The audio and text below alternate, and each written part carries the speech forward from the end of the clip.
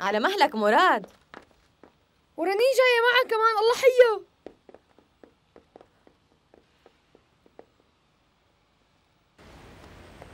الحمد لله على سلامتك. من وقت ما رحتي وأنا قاعد على أعصابي لحتى دخلتي من هالباب يا بنتي كثير قلقت عليكي. ما في داعي للقلق أنا أجيت. أهلا وسهلا تفضلي. ما اجت رنين؟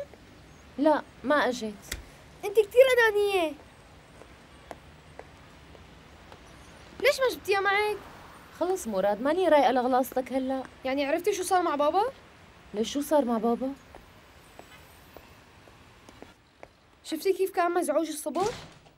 واضح إنه تناقر مع سمر بس هالمرة غير كل مرة متخانقين خناقة كبيرة سمر تركت البيت شو عم تقول؟ وبابا رايح على المزرعة اللي عند عمتي. قال بده يضل هونيك كم يوم. يعني لهالدرجة؟ أنا كتير زعلان على بابا. لو اجت رنين كان راق مزاجي شوي. نهال! نهال! شو صار مدموزيل؟ أنا بغرفتي.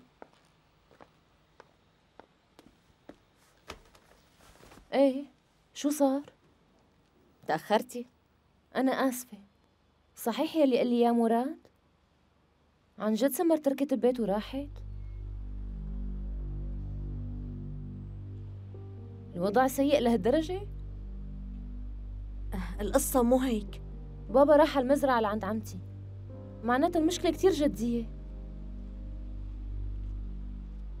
ممكن تخبريني شو عم بيصير؟ حابة أعرف شو القصة أه صدقيني ما عندي علم بشي بس بصير هيك شغلات ما في داعي تكبروا الموضوع. اثنيناتهم تاركين البيت. في أكبر من هيك؟ هي الأمور بتصير بين الأزواج يا روحي. بيتناقروا بيرجعوا بيتصالحوا. مشاكل طبيعية كتير. خاصة إذا كان في حب كبير. أوه. كيف فيك تكوني مرتاحة لهالدرجة؟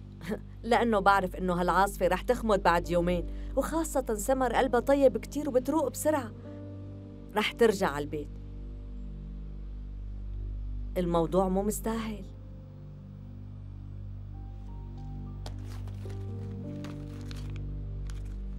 مع مين عم تحكي؟ مع بابا. لا تعملي هيك لو سمحتي. على القليلة بلا ما نزعجهم اليوم. هن بحاجة حتى يعدوا لحالهم شوي. ما هيك؟ شي أكيد.